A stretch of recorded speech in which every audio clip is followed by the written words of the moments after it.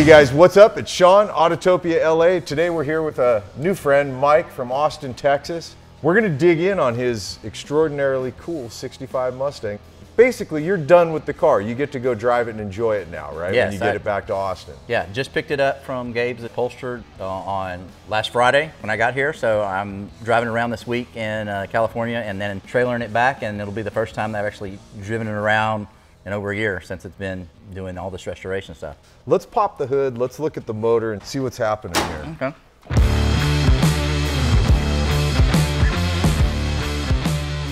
Is, is this old Coyote or is this pre-Coyote? This is pre-Coyote. This has come out of a 1997 uh, Lincoln Mark 8. It's a uh, 4.6 liter. It's got the Cobra intake on it.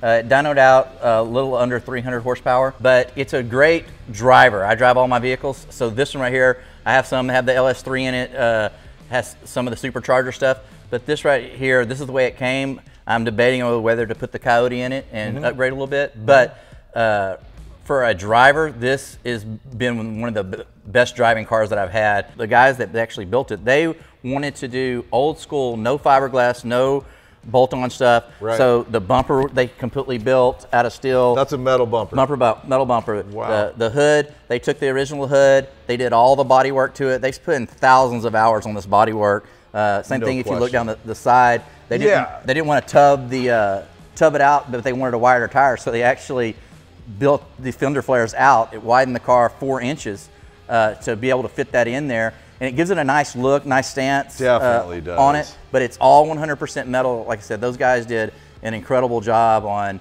all the, the work, keeping it close to it as original as possible, but giving it the modern look.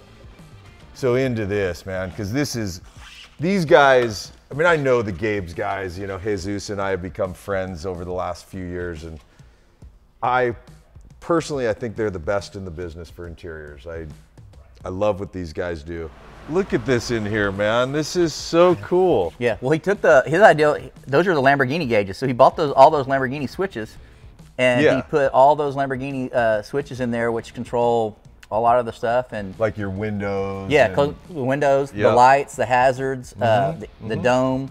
Uh, Yep. All that stuff. Then he put a, the gear shift in there. It came out of a 2017 Ford Mustang. Like I said, again, some modern touches, but Yeah. still It's a nice really an classic look. interesting blend. It's such an interesting blend, man. It really is. I mean, you've got I know Sean Smith designing and I know Gabe's interior Yeah. working together. You get a very European styled interior, you know, the Lamborghini switches, the vents that they use.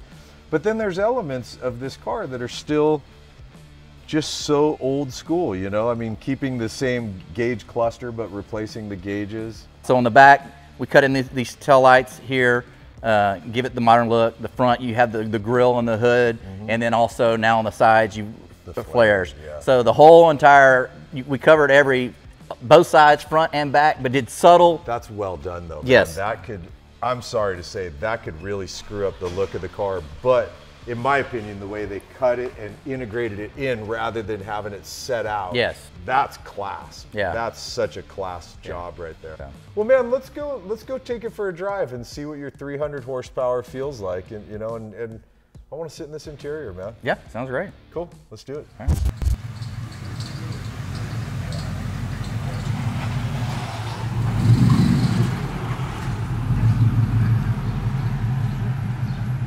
Hey guys, before we go for a drive, head over to atlamerch.com and check out the store. We've got shirts and hats, stickers, keychains, and of course, the hot chick shirt. All right, let's go for a drive.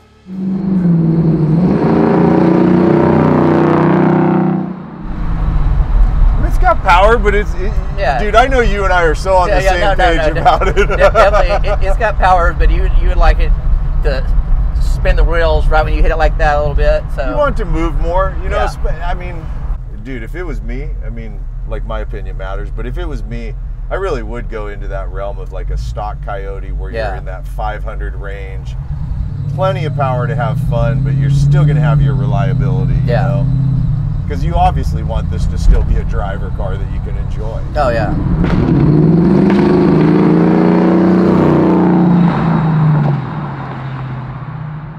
Love the way it feels, though. I mean, it feels super, super planted.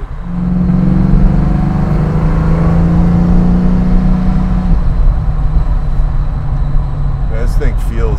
I love the suspension. I love the steering on it. Yeah. Like I said, it, it is. Uh, I keep saying it before, but it, for people that, that don't know or doing cars, it's a great driver. A lot of times, just like It I said. I have a, a, a lot of different cars, and uh, they have the the horsepower and they have all that.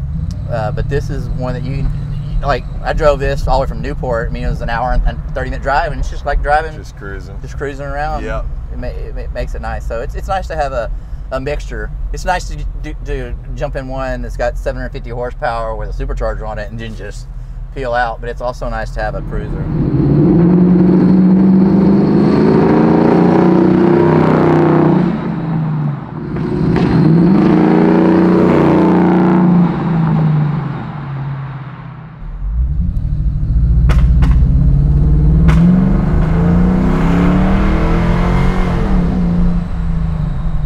I'm gonna have to have them go through it because, like I said, it's been sitting for a year. It's got Yeah, backfire. the, got the tune it. backfire. Yeah, sure. Well, it's got it definitely needs to be uh, completely tuned. Yeah. I was because with uh, Jesus, I was like, man, that thing hasn't been driven in a year, and I'm planning on driving it around California when I'm there. So he took it for a couple of days for me and drove it home.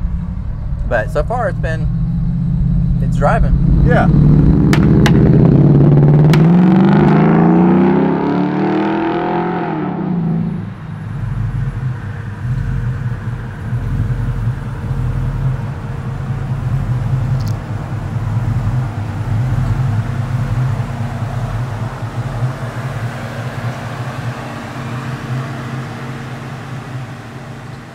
All right, you guys, that's it for our shoot of Mike's very cool 65 Mustang.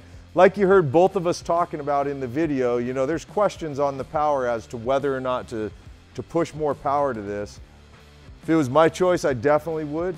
But I tell you what, man, the work on this car is really, really, really beautiful. The metal work that they've done here from the flares, adding on to the rocker, the hood, Gabe's interior is doing just the typical exceptional interior that they do.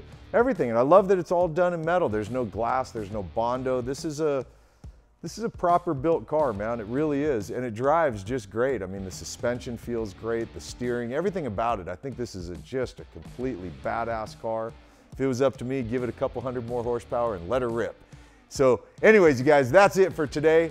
As always, thanks for hanging and watching and supporting what we do. I really do appreciate it. And I will see you in the next episode. All right, man. Later.